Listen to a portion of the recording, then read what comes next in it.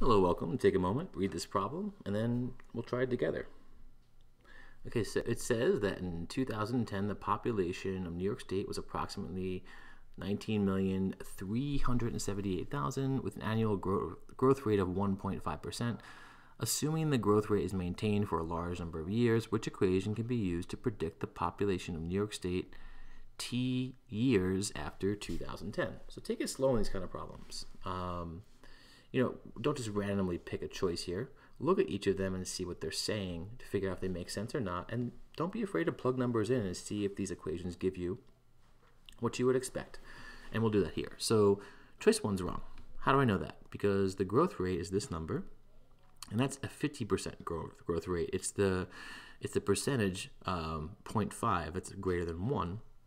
That's our growth rate. Remember that in general, uh, you can look at a population growth, you have your initial population p sub 0 times 1 plus your rate to the t power. All right, this is the population after t years. So some initial population, which we see here, that's correct.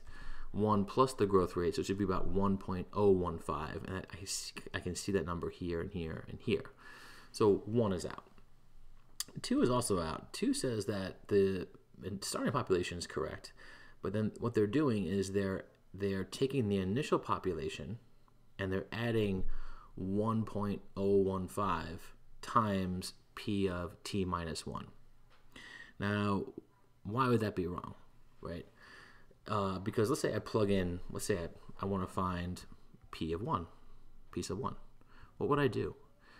Now, in this case, t is the number of years after 2010. So it's one year after 2010, so it's 2011 what would happen? I get 19,378,000 plus what? 1.015 times p of t minus 1, which is what? Well, t is 1 here, so 1 minus 1 is 0. So this is really just p of 0, which is 19,378,000. So you can see that we have our starting population plus our starting population and 1.5% of that. So this is growing by quite a bit more. It's the it's the original plus the original and 1.5% of that. And if we look at the calculator, we can see what's happening. Um, here, you do 19, 378, plus 1.015 times 19,378 zero zero zero. And we get 39 million 46,670. Now you don't have to even calculate the exact percentage, but 39 million is over double 19 million, so it's grown by over 100%, and that's not what we're looking for here. Then it comes down to these last two choices. In this one, I, I think I chose this answer at first, but then when you test it, you can see it's incorrect. Again, if I plug in P sub 1, I would get 19 million 378,000 times 1.015 to the 1 minus 1 or 0 power. Right, you're plugging in t here. So one year after 2010, the population should go up. But 1.015 to the 0 is just 1, and you would be stuck at 19,378,000. So that would be saying one year after 2010, there was no population growth, which is not what we're given here. So the answer has to be choice 4. Um, but before we look at that, let's just go back and fix both 2 and 3. Here, you could fix 2 if, you, if it was plus 0.015 times the previous population, right? Because that would be saying the same thing as choice 4. It's uh, the original population plus 1.5% of the year before, right? That would work. So if you put a 0 there, try it out. 0.015. In this case, it would be the original population plus 1.5% of the original, and you would get the correct answer.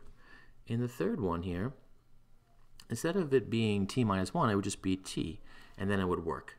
So if I plug in 1, and that would be one year after the starting point, you have 19,378,000 times 1.015 to the first, which would make it go up by 1.5%.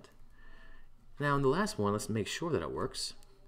If I plug in p sub 1, what does it tell me to do? Take 1.015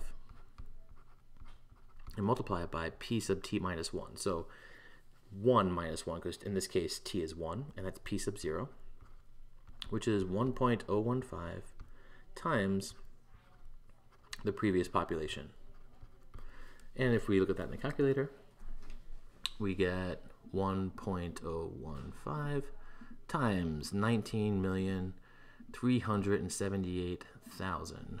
And that gives us a little bit over what we had before, right? It's 19,668,670.